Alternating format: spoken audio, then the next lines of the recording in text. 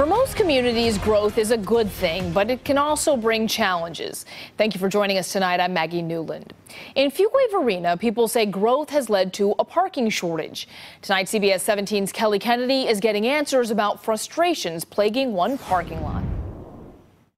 This sign is pretty clear. Any unauthorized vehicles will be towed at the owner's expense. And there are signs like this all over this parking lot. The local business owners tell me ever since the towing started, they've been threatened by customers. Ven Camarada and her brother have owned J&S Pizza in Varina Station for more than a decade. We watch this place grow and, you know, we're close to our customers. I'm not trying to lose business over people getting booted. But she says ever since her landlord started towing people who park in their lot illegally, things have taken a turn for the worse. A man actually a couple of months ago spit in my face. Another man um, tried to jump on me. The tow truck company man had to jump between between us because he was too drunk and his car got booted and he was um, angry thinking that it was my business who did it when it wasn't. This parking lot is private. The spots are for Varina Station's 18 apartment residents and retail tenants. We're paying rent to have a business here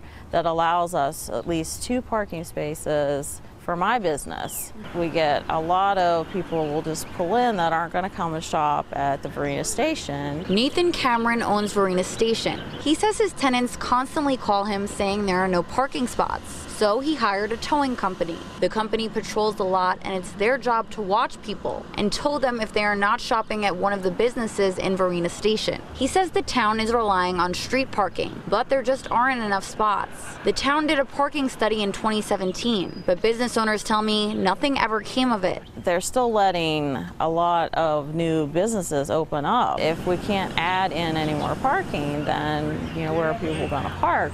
I reached out to the town of Fuquay-Varina and to the towing company for comment, but so far I have not heard back. Reporting in Fuquay-Varina, I'm Kelly Kennedy for CBS 17 News.